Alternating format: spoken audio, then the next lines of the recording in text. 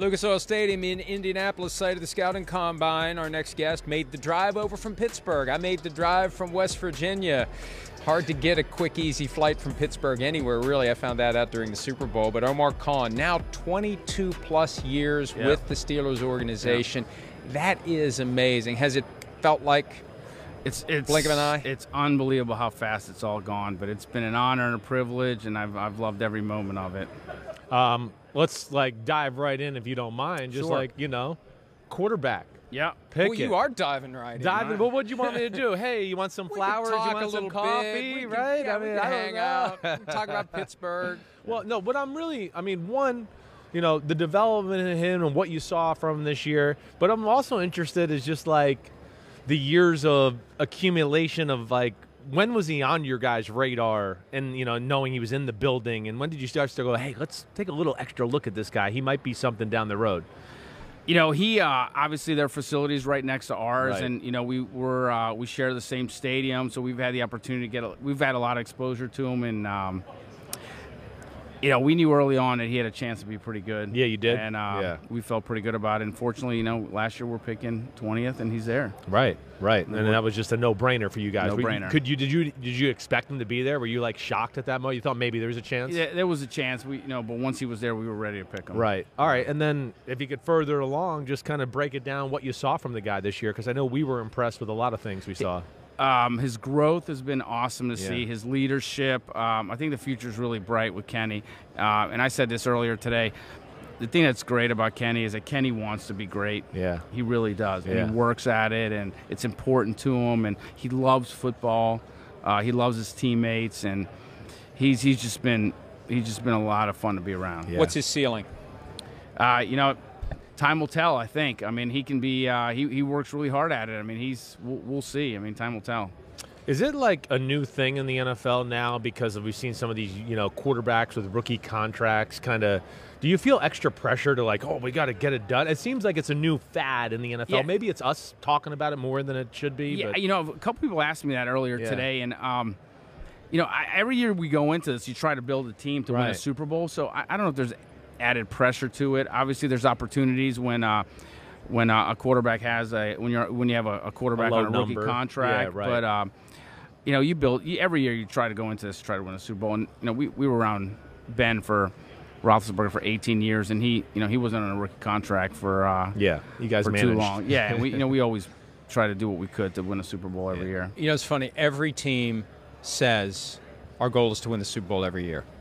The Steelers are the only team when I I believe it when you say it. Like I think everybody else, it's like they have to say it Yeah. to sell tickets and jerseys. Yeah, they're one of the people. few like, shortlist I feel like you guys truly do go into the season every year trying to win the Super Bowl, which means far more often than not, you're in a funk because Right. you know if that's your measure of success, you're not Yeah. going to succeed all that often. Yeah, I mean that's I I can't speak for the other teams, Mike, but um, you know we go into it right now. We're in our planning process, and our, our, our goal is to be in uh, I think Super Bowl's in Vegas this year. Yeah, right? it is, yeah. right, Yeah, yeah. to build this so that we're in Vegas in February of next year. Um, I want to go now to your other rookie this past year, George Pickens. Yeah. All right. What the f? What what the? how the hell do you find these freaking receivers all the time? What is it? Who's in the building that? Or I mean, is it collaborative? Is there somebody that first puts it on everybody? I'm amazed. We talk about it all the time. When you guys draft a receiver, we all go, "Whoa, okay, he might be good," just because you guys seem to have the eye for it. Well, that's a, that's a credit to Kevin Colbert. You know, Yeah. he's been doing it for so long. Hopefully, I uh, I learned a few things from him, and we can continue that. But that's See, that- he'd that's never take Kev. the credit for it. He'd Kev? never say it was him. I, I can tell you, it was Kevin. Kevin's Kevin was a, a, a great evaluator, and he Do you have really like a special eye for the receiver we, position? Well, you we, always we have or- certain characteristics that are important Yeah. for us at that position, Right. and um, uh, you know, I can't discuss them publicly. Yeah, no, obviously, we get but, it. Uh, Yeah. yeah, yeah. Well, you So- can if you I want I can, to. but I'm not going for to. not Thanks. Mike. Yeah, exactly. I didn't want to lawyer you or anything there, but you could if you wanted to. Um, that's the thing that also impressed me about the Steelers. This is an organization. I mean, I've been around, in and around Pittsburgh all my life. There are so many dysfunctional teams, and I think the dysfunction comes from somebody tries to claim credit when things go well, somebody goes and hides when things don't go well. You guys never seem to have any of that. Nobody's trying to take credit for what goes well. Where does that come from in the organization? That Uh, culture? you know, that that comes from the Rooney family. Uh, since the day I got there. You know, it was about us, about the team. It's never been about one person. Uh, my, you know, I was telling you earlier, I, I started uh, Valentine's Day 2001 was my first day in Pittsburgh with the Steelers, and um, from day one, I can tell you, it's it's they made it clear to us. I mean, you just when you're around it, you just kind of see it that it's it's it's not about the individual, it's about the team. You know, and winning Super Bowls and you know, we got to work to it. We're due for one. So. Well, well, talk about your adjustment. You know, Mm-hmm. what, what, what was it like for you, year one, being a GM? You know, I, I- I mean, uh, things you felt like, oh, I, I got to get used to this or get better at this, or what, what- you know, how was that? So you know, I, I've been around Kevin for so long. We worked together for 20 plus years. That the transition was easy. I say, I'd say the uh, the tough thing is there's probably not enough hours in a day. People come into my office. I mean, it's like a There's always an door. issue Oh, or there's always something, something. right? Someone's coming in, and, Right. You know, everyone wants to be the first one in, and they want an answer right away, and that doesn't always happen. Yeah. But, uh, but uh, for the for the most part, it's it, it's been a smooth transition. That to seems to be a big answer with coaches and GMs when they first get it. Just there's always, Always, like you yeah. know, besides your job, there's always Yeah. something you got to kind of take control or Yeah. put the flames out in the building. Yeah. I want to go back to your quarterback, Kenny Pickett, and and this is in order to address one of the complaints we get from Dolphins fans because we talk about Tua Tagovailoa's concussions. Okay. And they say, why don't you ever mention that Kenny Pickett had two? And, and that is alarming. Quarterbacks, you know, usually at most will have one and not that many have one.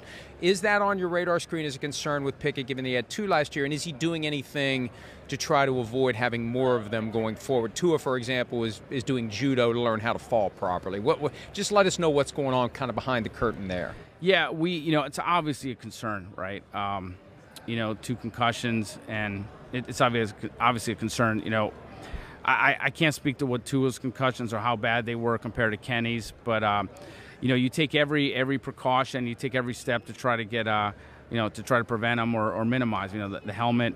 Kenny switched his helmet uh, during the season uh, at a recommendation from our medical staff. Um, you know, I'm sure there's some some things that'll be discussed with the uh, coaching staff in terms of uh, um what he could do, maybe to to maybe take uh, less hits, let's say. Um, but it, it's just, yeah, it is concerning.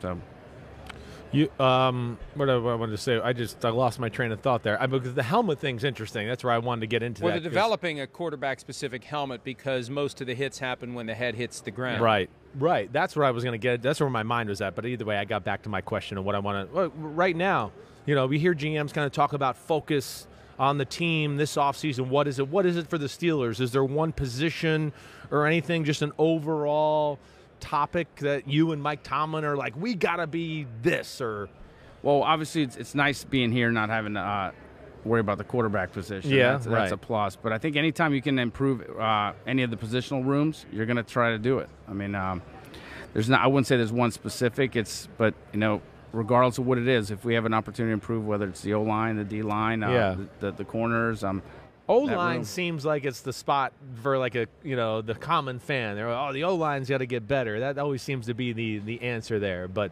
you know, you know, what our, I'll say about our O line Yeah. is is it was it was cool to see how they uh, Progressed. how they grew and how they progressed, Right. how, how the season went on. You know, it was really really fun to watch. Yeah, yeah, they got better at the end of the year, and you're opening up some holes and Yeah, protecting kept- pretty well. They, they kept uh, getting better, and just the camaraderie with that group as, as they connected. It, it was fun to watch. yeah, What was the most rewarding win last year after the slow start? Ooh. Um, that's, a, that's a good question, Mike. Uh, you know, um, you always like winning the divisional games. The guys you have, uh, you know, the rivalries. You know, remember you can win in Baltimore is fun. Um, had the Franco Harris night game, right? that that, was, pretty that special, was really right? really special. Right. Uh, that that was oh that was there was so much emotion going into the game. That that was really special too. Yeah. Yeah. Um, you're getting like where, where's this? You know, what do you what do you look at as the common or the the state of the team right now? It seems like it's like you got some young pieces, but you got guys like Cam Hayward and. You know, some older older veterans where it's like, you know, is there something to meet in the middle? Are you in rebuilding, or you, where do you think you are as Yeah, a I- I- franchise? I, don't really like to use the word I rebuilding. don't. Nobody but- does. Well, but they never are. Yeah. They're Yeah. never no, rebuilding. no, I know, I know. So we, we, we, we feel like we got a good mix, Right. you know, and we have the opportunity to add some pieces in free agency, and you know we have um, some high picks this year in the draft that we can add some uh, some good football players, but um, we, we just got a good mix right now. We Yeah. feel good about it. Yeah. Omar, thank you so much. Thanks for having me. Congratulations on your 22 plus years with the Steelers. Congratulations on being the general manager of the team, and all the best moving forward. We hope to talk to you again real Great. Thanks a lot. All right, we'll Thank be back with more from Indy right after this.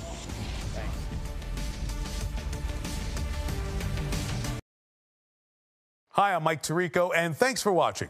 Make sure to hit subscribe for the latest news and highlights from NBC Sports.